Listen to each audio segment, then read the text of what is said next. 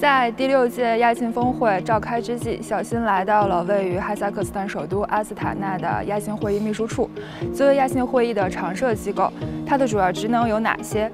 构成多样又广泛的亚信会议成员国之间又是如何进行文明交流与对话的？今天，小新就带大家一起了解一下。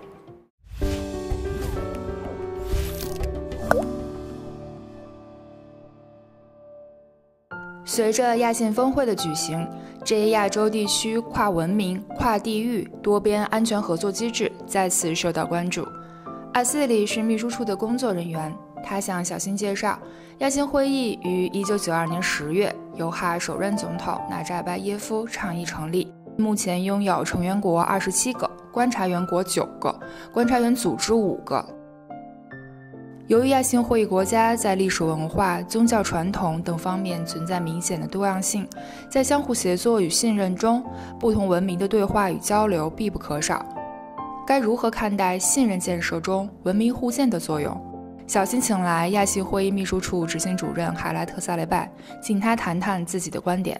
У нас не только очень диверсифицированная культура, очень разнообразная религиозная Картина. Но, тем не менее, главное достижение СВМДА именно в том, что, несмотря на все эти различия, ну, я называю это разнообразие, несмотря на это разнообразие, у государств-членов сохраняется высокий аппетит для поддержания диалога, для того, чтобы обмениваться мнением, обмениваться лучшими практиками и стремление к тому, чтобы развивать доверие – доверие через сотрудничество, доверие через диалог. Вы очень правильно заметили, что особенно культурный аспект приобретает важную роль в сегодняшнем мире.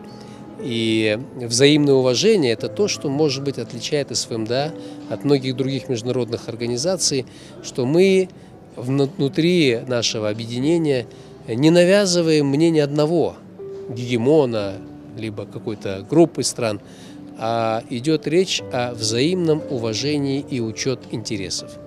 Поэтому я думаю, что несмотря на все это разнообразие, э, СВМДА не только э, продолжает вырабатывать общие механизмы сотрудничества, но и э, умножается в своем членском составе. Я ожидаю, что предстоящий саммит продемонстрирует способность СВМДА адаптироваться к современной повестке дня – международных отношений. И мы, наверное, застанем свидетелями, что все больше и больше стран э, разделяют подходы СВМДА.